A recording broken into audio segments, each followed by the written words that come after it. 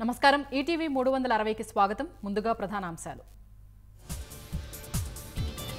ఎన్నికల వేళ హింసాత్మక ఘటనలపై ఈసీ ఆగ్రహం.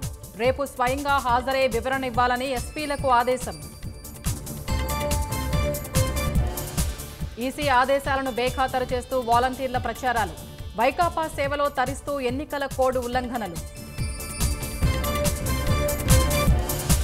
ఎన్డీఏ అభ్యర్థి రామాంజనేయులు వాహనంపై వైకాపా దాడి.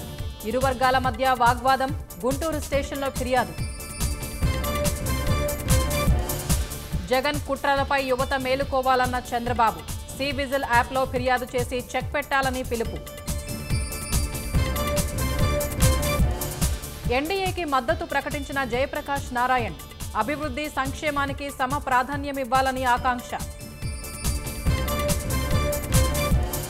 సార్వత్రిక ఎన్నికల తొలి విడత నామినేషన్ల పర్వం ప్రారంభం. ఏప్రిల్ పంతొమ్మిదిన నూట రెండు లోక్సభ స్థానాల్లో పోలింగ్.